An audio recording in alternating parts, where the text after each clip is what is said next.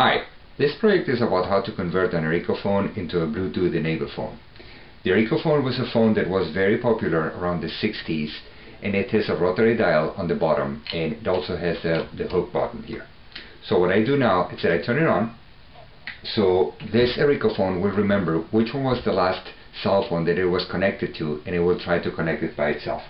So we'll see here now it will connect it to my cell phone and there it is. So the first thing that I do is that once it's connected, I pick it up, I get dial tone, so it means that I have a connection, a valid connection, and what I will do now is that I will call my voicemail number using the rotary dial.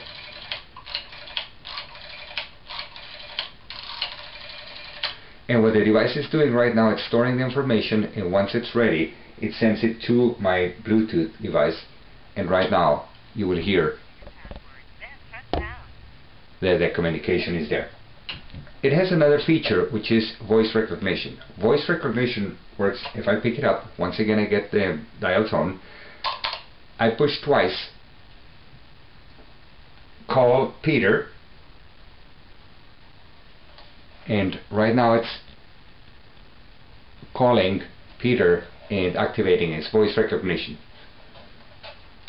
And it has an additional feature and is that if um, I pick it up and I don't have any connection to the Bluetooth or I do an invalid hook flash for example I would get also busy tone. The other feature of course I can call it and what I'm doing right now is that I'm calling myself using Skype and what I'm doing here is that the microprocessor reproduces the original um, tone produced by the Ericofon. So it should ring now.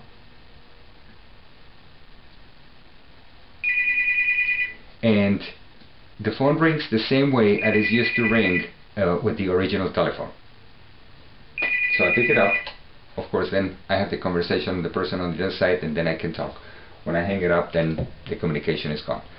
There's another feature so you can check it on the website which is btericofon.blogspot.com.